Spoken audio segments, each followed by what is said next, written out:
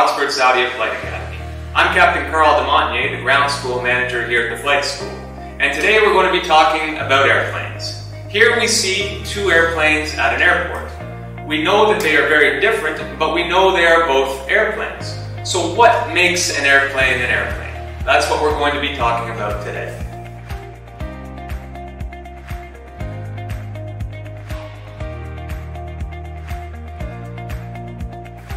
So the power plant.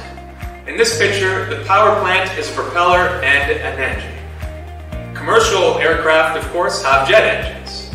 But whether it's an engine with a propeller or a jet engine, the primary function of the engine is the same, to provide the power needed to move the aircraft forward. Power plants also generate electrical power, provide a vacuum source for the instruments, and in most single-engine aircraft actually supplies heat to the pilot and passengers. This is the landing gear. The landing gear is the principal support for the airplane when it's parked, taxiing on the ground, taking off, or landing. The most common type of landing gear is wheels.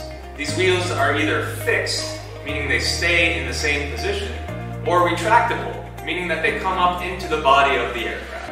Now, wings are the main lifting surface that support the body of the aircraft. There are numerous wing designs, sizes, and shapes, and uh, they can be attached to the top, to the middle, or to the lower part of the fuselage.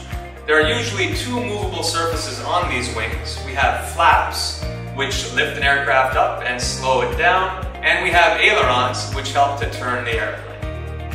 Now the fuselage is the body of the aircraft, and that's where we carry passengers and pilots and cargo. It also provides the structural connections for the wings and for the tail assembly. Now the empennage is the tail section of the aircraft.